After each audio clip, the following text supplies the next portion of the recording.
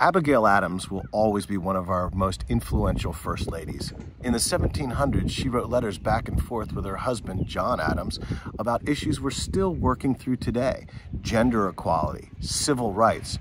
Her thoughts would be considered progressive even in today. She was a modern thinker in colonial times.